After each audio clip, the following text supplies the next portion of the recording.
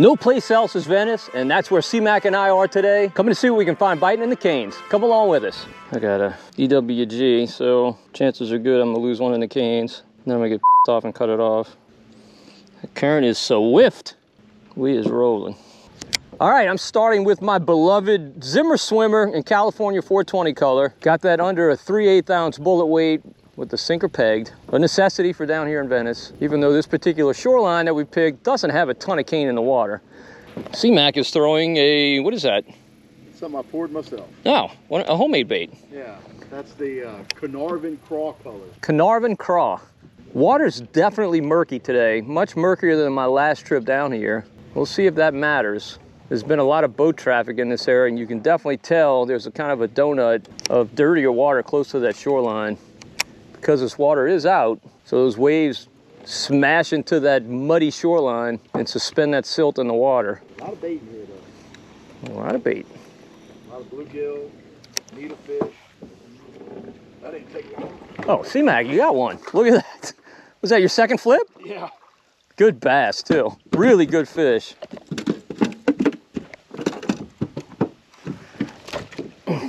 He the tar out of it. Oh, look what I had, C-Mac. look what I had. Yeah, you see right here, it's 12, 12 and a half feet. it drops off incredibly. Man, it's hot. The wind feels nice. I'm glad it's blowing. Get him! Oh, flounder! There we go! it looks like he's on the drop off too, huh? Yeah, he's out of the ways. I've been wanting to catch a flounder down here in Venice. They've been running for sure. And with these bass,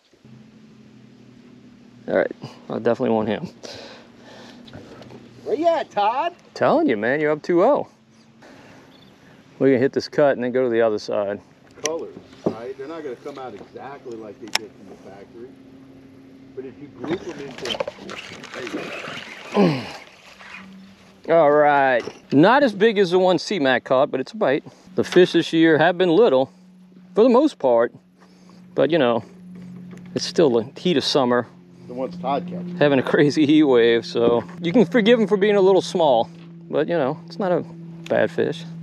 And we're fishing one of the major passes downriver, which is kind of the best strategy for the summertime when water temps are up. Water in here is 88 degrees. You can imagine what it would be in some of the more backwater, smaller areas. These fish stay in these main passes because they're more oxygenated, a little bit cooler. I heard that. Yes. That's where that bass was right here.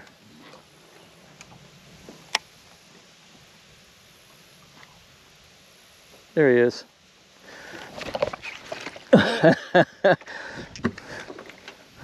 See, Mac, I'm gonna get all these small ones out of the way for you. But I tell you, this, this is what we call last week. A lot of, a lot of bites, just not an average Venice fish. Like this is a subpar Venice fish, that's for sure. But you know, you just take bites this time of year. I'm not complaining at all. All right, that's a fish that we were back there and we heard him splash right here. At least I assume it's the same fish, the exact same area. Now, if you're unfamiliar with Venice, there's a place you definitely want to come do this on a falling tide. Far better than a rise, not even close. I won't come on a rise unless I happen to be down here and just want to go fishing. But it's a lot better on a fall. And not only do you want a falling tide, you want the second half of a falling tide, the last six hours or so of that fall, which we're here today. Tide's gonna bottom out at 5.30. We didn't get down here till about one o'clock, so that tells you how important I think this is. Fishing during the heat of the day, and it is blazing hot. Been a super hot summer here in South Louisiana. 93 degrees down here, Todd, and it's 10 degrees warmer in Baton Rouge. Yeah. Unbelievable. Yes, indeedy. Yeah, it's relatively cool here, 93. This summer's been dominated by west winds, but today we actually have a southeast wind.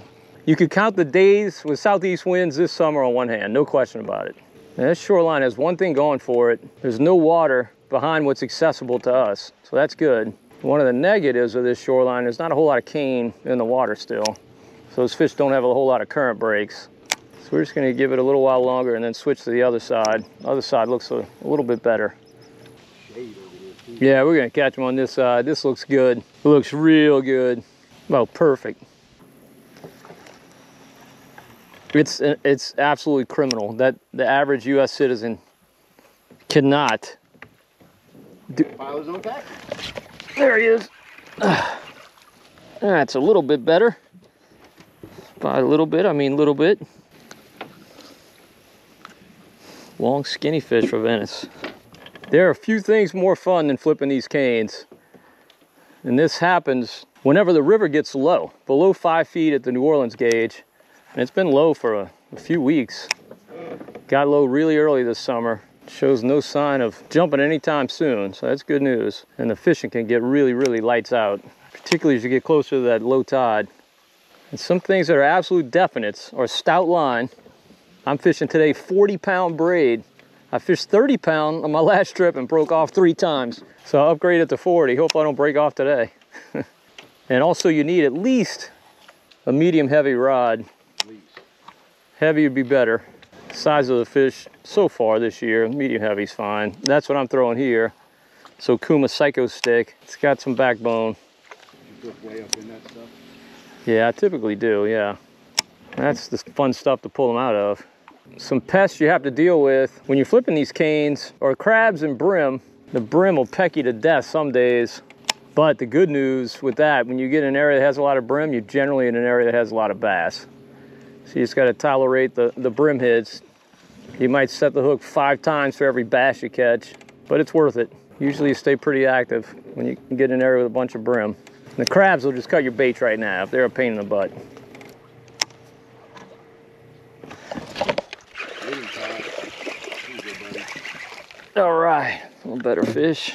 Maybe, mm, I don't know, a little bit under a pound.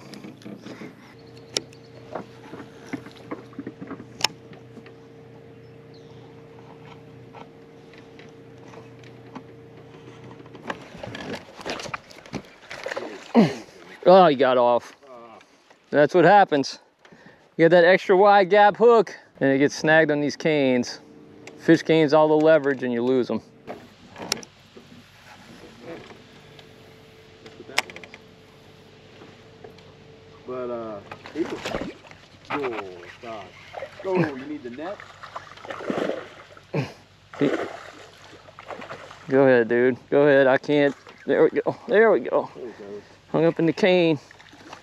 That's a good bass. Nice fish, dude. That's a good Venice bass. All right. Fish of the day so far. And he didn't get caught in the canes. Ooh, C-Mac.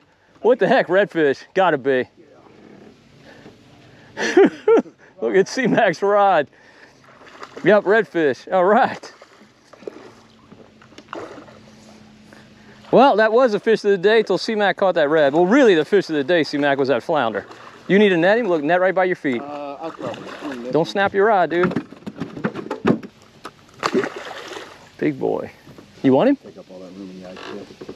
Yeah, just let him go. All right. So literally, C-Mac and I caught those, caught that red and bass in the exact same spot.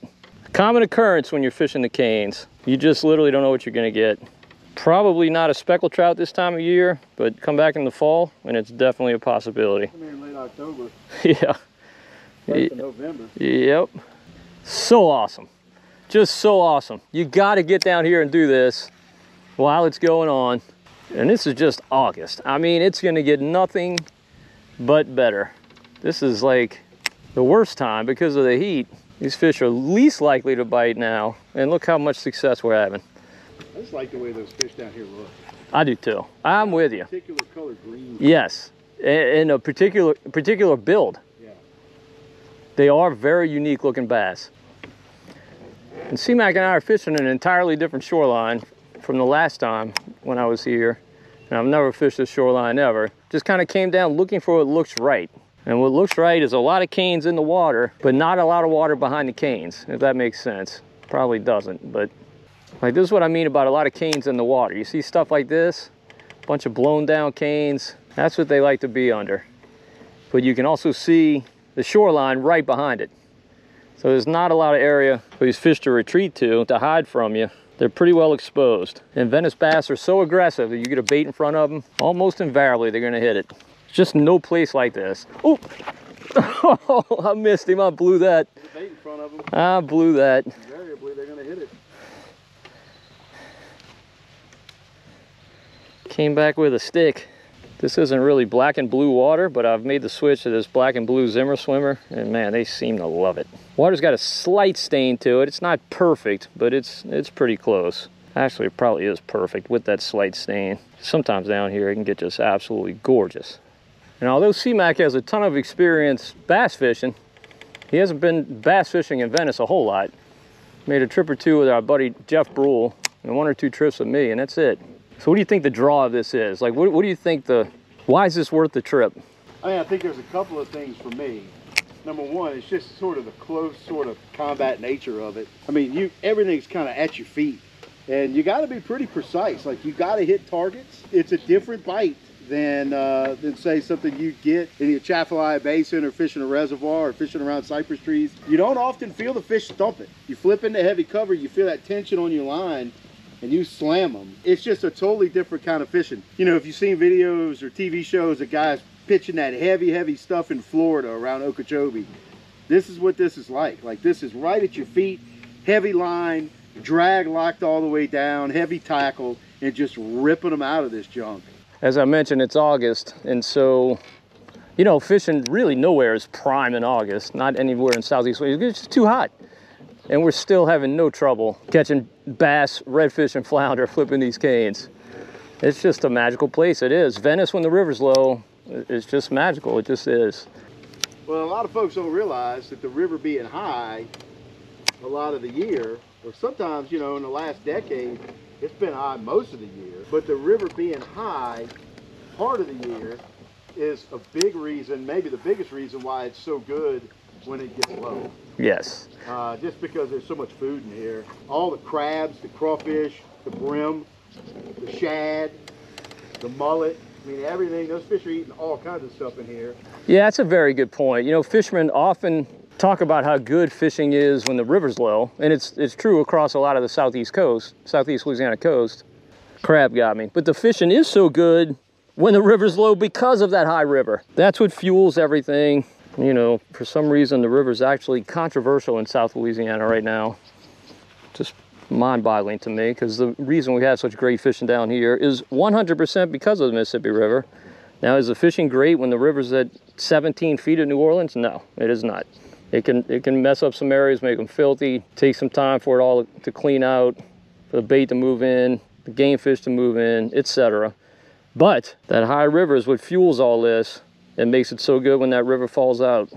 It's gonna be a special year. It'll be a special fall down here. The fishing is very good now. It's gonna get great and it might get stupendous. How's that for a elite word? Fantastic. Can you think of a better word than stupendous? Word. Something better than stupendous? I mean, I'll take stupendous fishing any day. Yeah, to tell you how much I like Venice bass fishing, Venice is a two and a half hour drive one way from my house. And I find it hard to stay away when the fishing's like this. But how many boat launches do you pass? Uh, right. Your house and here to get here? Yes. Where I could have, you know, decent to great action. Quite a few. Coming up with some good looking stuff, C-Mac. Let's get some bites. Ooh, you hit it. Are you still on it? Yes, you are. Oh, you mother fricker. Dad gummit. and why did I lose him? Extra wide gap. That's why. Dude, I got some other hooks. I know, I'm gonna change this one.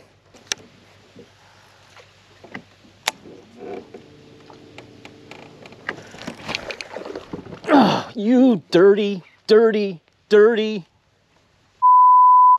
God. Ugh, I'm on a bad streak. I realize I'm fishing behind you, but I'm not getting near the bites you want. I'm getting bites and it's not. It's the Zimmer swimmer, dude. I'm telling you, this bait is magic. It's the Zimmer swimmer, which I got plenty of. Get him, C-Mac. There you go. I have to say nothing out of that. Wrapped him around the boat seat.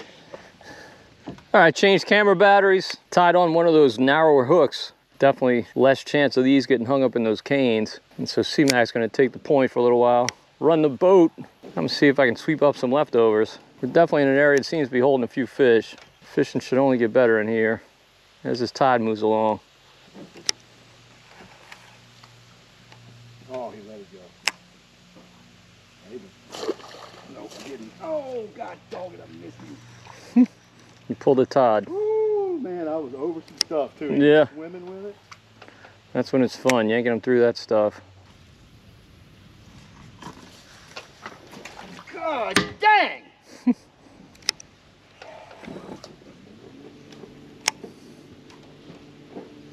All right, come take the trolling motor again. I gotta retire. Okay.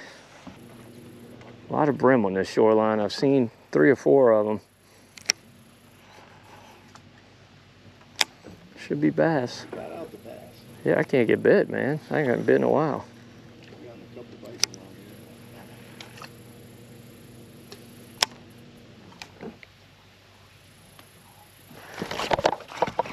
here. What we were just saying. No, we just can't, we can't get video. We just can't get this. See if it works for you, buddy.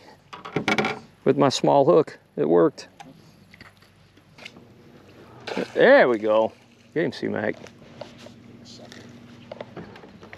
about the size we're catching on average.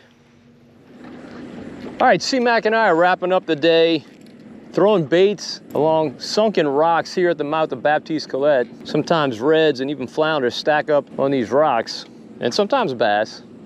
Mostly reds and flounder though. So we're gonna see what you catch here today.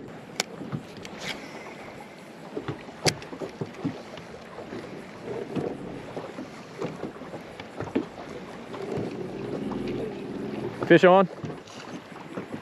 What's he feel like? White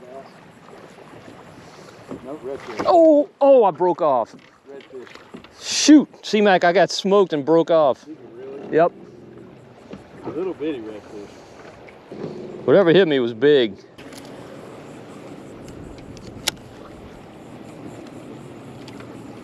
I, that had to be a big red that hit me. Missed him? Yep, I did. Back. You got him? Feel like another red? Yeah, another red.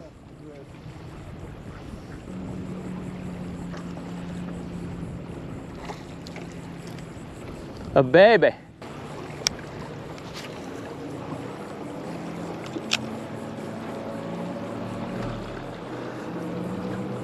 Oh, look at this big ship coming, loaded with containers. Oh, there he is. Look at that, C-Mac, a jumping redfish. In there. Good to see these little fish. Good to see there's some. I got one. Well, there's nothing but undersized reds in here. But there are a lot of them. There are a lot of them. I had something big break me off on my SB57, and now we're just catching these guys. Nope, What you got? different species. Oh, white bass. There we go. There All right, C-Mac. You wanted a white bass, you got a white bass. Was gonna eat these too. Yes, I'll eat the white bass. This red wanted this thing. Yeah, I know, dude. Uncle Todd not treating you right. There you go. Swim off. Now, unfortunately, we've got a massive container ship coming right there. So this bite's quickly going to come to a close because I won't be able to hold here with my trolling motor and don't want to take the chance as close to these rocks. But I'm gonna make one more cast. Oh, there he is. That didn't take long. That feels like a better fish. this is this is something else. This is as good as it gets, man. Every cast. I think I got one of your white bass. No, it's a red. No, it's a red. Never mind. Same species. See, Mac, I say we retreat into Baptiste Collette, let these waves pass, and then come back. What do you think? We're about to get shellacked. Think we got time for one more cast? Yeah, maybe. Probably pretty stupid. These waves are going to be nasty. Oh. Oh, I mean, right away. Oh, oh, right away, missed it. Another red, No, white bass. white bass. C-Max on the white bass. And we're about to die. We're about to die. What are we gonna do, Bart? We're gonna die. Easy, Harold. My foot is on the rail. Oh, the water's sucking out. Out of here. You see all the water sucking out? Yeah. Lord, where we gonna go, Todd? All right, let's go. Come on, we're about to die. Let's go. This is stupid. Ain't worth it for a fish. All right, great news. C-Mac and I survived the container ship, and now we're singing Christopher Cross songs, seeing if our fish have left. Just wait and see. C-Mac is singing Sailing. I prefer a ride like the wind. And I got such a long way to go. Such a long way to make it to the border of Mexico. And I ride. like the wind, like the wind. da, da, da.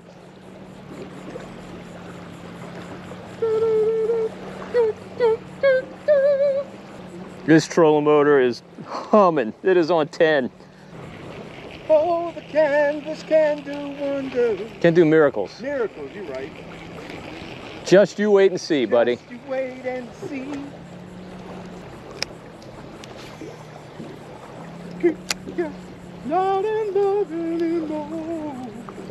Oh, missed him. Now I bet you that was a white bass. He smoked it. Things will never be the same again. Can't forget how you made that so clear. I can't forget it. Every time you're near. Every time I see you cry. Smile. Sorry. Always Hear your hello. You will only be a word.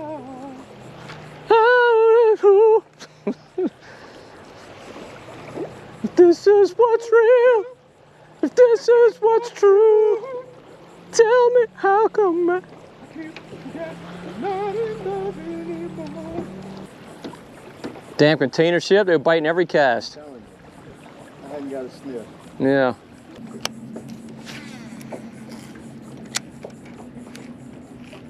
Well, there he is, C-Mac. Don't know what he is, but he's a fish. Hey, he's running. Running and running. Look at this guy. There's your white bass. No? Yep, right, white bass. There we go.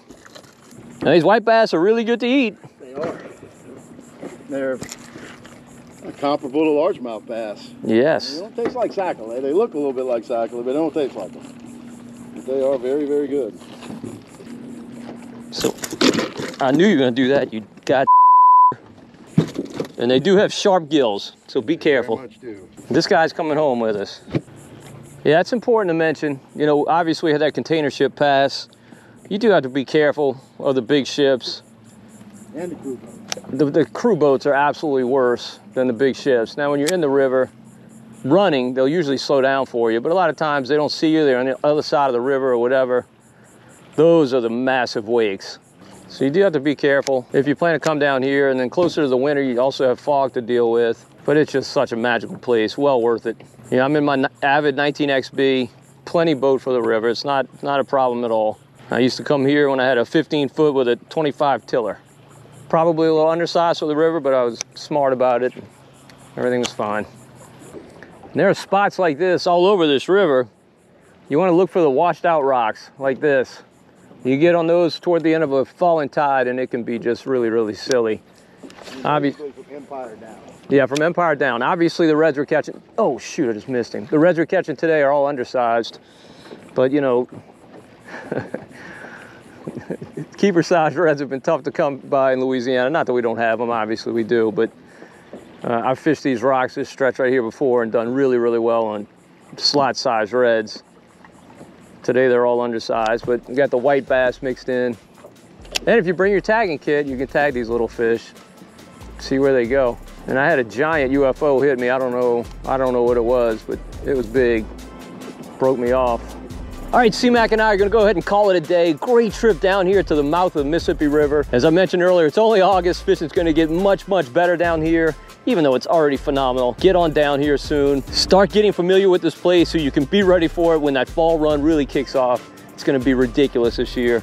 All right, well, hopefully you enjoyed the video. If you did, please give it a thumbs up. Also subscribe to the Marshman Masson channel on YouTube. If you know somebody you think would also enjoy the video, definitely would appreciate you sharing it with him. And until next time, if we don't see you in the marsh, We'll see you right here on Marshman Masson.